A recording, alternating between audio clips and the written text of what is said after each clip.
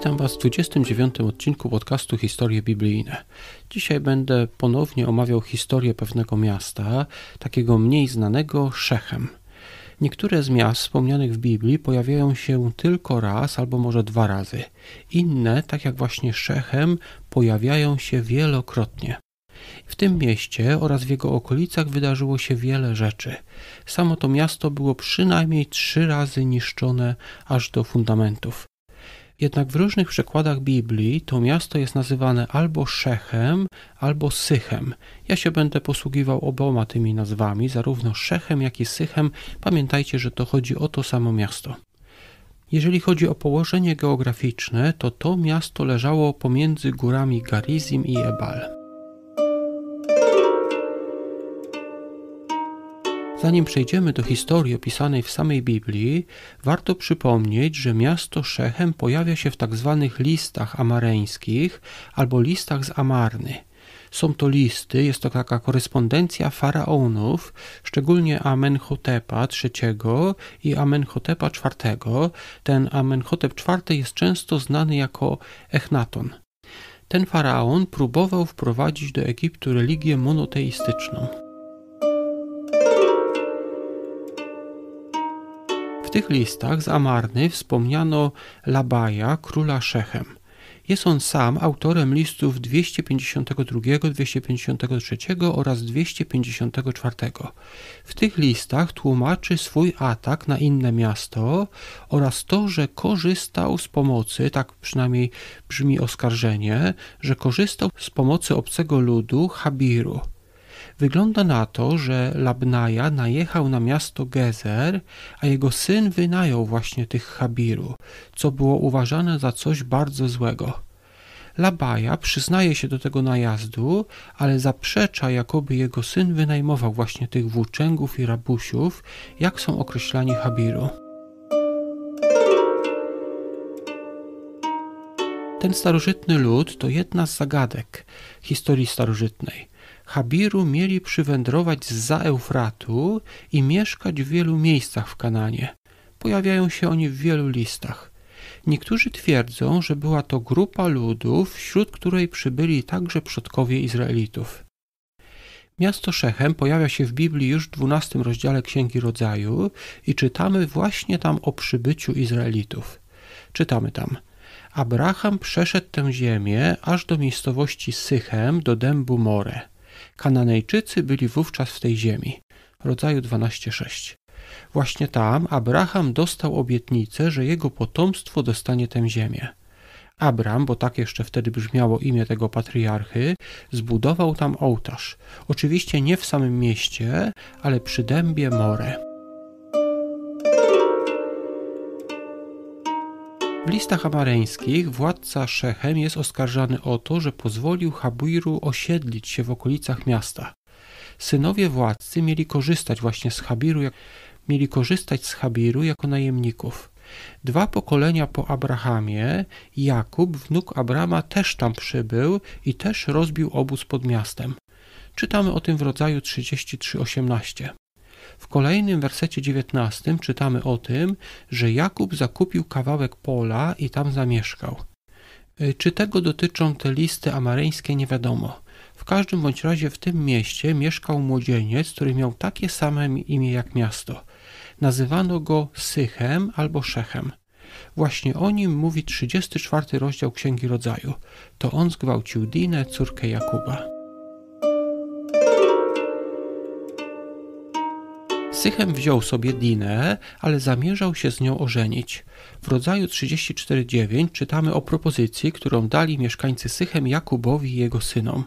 Spowinowaćcie się z nami, dawajcie nam za żony córki wasze, a bierzcie za żony córki nasze. Bracia Diny powiedzieli, że mogą się spowinowacić tylko z obrzezanymi. Sychem przekonał więc mieszkańców Szechem, aby się obrzezali, a wtedy napadli na nich bracia Diny, Symeon i Lewi. Byli to jej bracia rodzeni, mieli zarówno tego samego ojca, jak i matkę. Byli synami, byli dziećmi Jakuba i Lei. Biblia nie mówi, że miasto zostało zniszczone, ale że zabito wszystkich mężczyzn, a kobiety, dzieci oraz zwierzęta zabrano. Można więc powiedzieć, że miasto w sensie pewnej grupy ludzi, że miasto w tym sensie przestało istnieć. Jakub rozgniewał się na swoich synów. Rozkazał, aby dano mu wszelkie bożki i kazał je zakopać pod wielkim drzewem niedaleko miasta. Chodzi tutaj pewnie o ten dąb zwany More. Było to święte miejsce dla mieszkańców miasta, którzy podobno przepowiadali przyszłość na podstawie szumu liści tego drzewa. Później to miasto było chyba przez długi czas opustoszałe. Gdy Jakub wysłał Józefa, aby zobaczył, gdzie jego bracia pasą stada owiec, mieli oni być właśnie niedaleko tego miasta Szechem, miasta, które sami zniszczyli. Powodu tego, że patriarchowie Abraham, Izaak i Jakub wędrowali wielokrotnie przez Szechem z północy na południe, ta droga została nazwana przez niektórych biblistów drogą patriarchów. Droga ta prowadziła od Megido przez Szechem do Jerozolimy, a później do Hebronu i Berszeby. Była to droga przez środek ziemi obiecanej. Dla odróżnienia droga prowadząca wzdłuż wybrzeża była nazywana drogą królewską. Miasto to, czyli Szechem, pojawia się ponownie w Biblii dopiero po wyjściu z Egiptu i podbiciu ziemi obiecanej. W Jozułego 24 rozdział, werset 32 czytamy Również kości Józefa, które synowie izraelscy sprowadzili z Egiptu, pogrzebano w Sychem, na kawałku pola, które nabył Jakub za sto kesytów od synów Hamora, ojca Sychema. Miasto to znalazło się wtedy, czyli po podboju przez Izraelitów, znalazło się na terenie przyznanym Manasesowi, jednak Efraimici dostali chyba za mało terenu i mieli oni swoje miasta enklawy na terenie Manasesa. Mieli oni swoje miasta na terenie Manasesa. Były to enklawy Efraimitów na terenie Manasesa. Mówi o tym Jozułego 16 rozdział werset 9 synowie Efraima mieli miasta wydzielone wśród dziedzictwa synów Manasesa, całe miasta i ich osiedla. Gdy później przekazywano miasta dla Lewitów i kapłanów, Szechem zostało dane Lewitom od plemienia Efraima. Szechem stało się miastem schronienia. Co to znaczy? W Izraelu wybrano sześć miast, do których mógł uciec każdy, kto zabił kogoś niechcący – Musiał przebywać w takim mieście aż do śmierci arcykapłana. Szechem było więc jednym z sześciu centrów religijnych. Przypominam, że Jerozolima nie była jeszcze wtedy w rękach Izraelitów. Jozue tuż przed swoją śmiercią zgromadził wszystkich Izraelitów właśnie w Szechem. Czytamy o tym Jozuego w rozdziale 24. Zapytał on wtedy Izraelitów, z tych wszystkich zgromadzonych, czy pozostaną wierni Bogu. Zgromadzeni w Szechem Izraelici to obiecali. Czy dotrzymali tej obietnicy? Właśnie w tym mieście, w Szechem, Izraelici zaczęli czcić Balberita. Stało się to po śmierci Gedeona. Balberit to znaczy Pan Przymierza. W Księdze Sędziów, rozdziale 9 czytamy, że po tym jak czytamy o tym, jak syn Gedeona z nałożnicy pochodzącej właśnie z Szechem poprosił mieszkańców tego miasta o poparcie. Dali oni mu pieniądze ze świątyni Balberita i on te pieniądze wykorzystał. Wziął, zapłacił takim najemnikom i razem z nimi napadł na swoich braci. Zabił prawie wszystkich braci, synów Gedeona i został królem tego miasta. Niektórzy mówią, że to był pierwszy król zjednoczonego Izraela.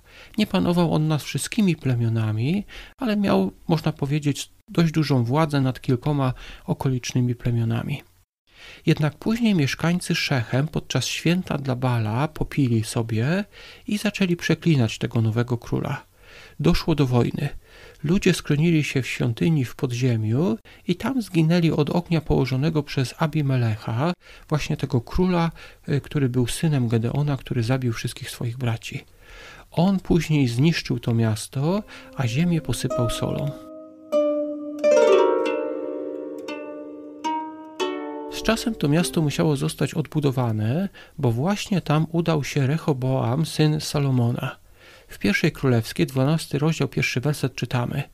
Rehoboam udał się do Sychem, gdyż do Sychem przybył cały Izrael, aby go obwołać królem.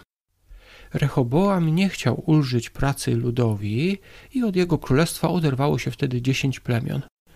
Powstało wtedy północne państwo Izrael, a Rehoboam rządził w Jerozolimie tylko nad dwoma plemionami. Na północy królem tego dziesięcioplemiennego królestwa Izraela został Jeroboam. Mówiłem o nim w pierwszym odcinku tego podcastu. Gdzie była stolica tego nowego państwa, tego nowego królestwa? Na samym początku właśnie w Szechem.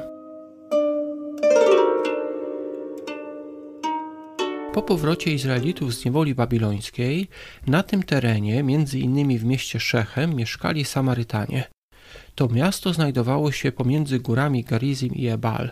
Ta pierwsza góra, czyli Garizim, miała wielkie znaczenie religijne dla Samarytan. Kiedy Jezus rozmawiał z Samarytanką przy studni, dyskutowali właśnie o tym, czy Bogu należy oddawać cześć w Jerozolimie, czy może na górze Garizim. Gdy w 66 roku wybuchło powstanie, wybuchło powstanie żydowskie przeciwko Rzymianom, zbuntowali się także Samarytanie. Rzymianie powrócili i zniszczyli wszystkie miasta, między innymi Szechem. Później zbudowali w okolicy miasto, które istnieje do dzisiaj, a nazywa się Nablus. Współcześni Żydzi wprawdzie mówią na to miasto Nablus, mówią na to miasto Szechem, ale oryginalne Szechem leżało na wschód od współczesnego miasta Nablus. To oryginalne Szechem odkryli w 1903 roku niemieccy archeolodzy. Na dzisiaj to wszystko, ale spróbujmy powtórzyć główne informacje. Szechem było miastem wspomnianym w korespondencji z władcami Egiptu. Król Szechem miał przyjąć obcy lud, co nie podobało się Egiptowi. Niektórzy twierdzą, że do tych obcych należeli patriarchowie Abraham i jego potomkowie.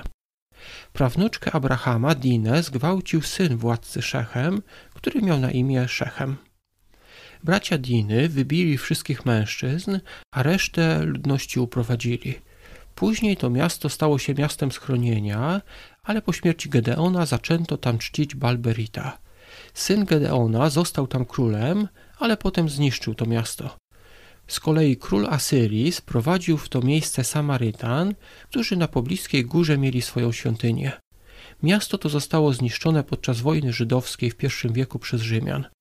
Obok ruin zbudowano miasto Nablus, które istnieje do dzisiaj. Dziękuję Wam bardzo za wysłuchanie. Zapraszam do grupy na Facebooku, która gromadzi osoby słuchające tego podcastu. Tam możecie komentować, możecie napisać może, jakie macie pomysły na kolejne odcinki. Ja jeszcze raz dziękuję Wam za wysłuchanie i do usłyszenia niedługo.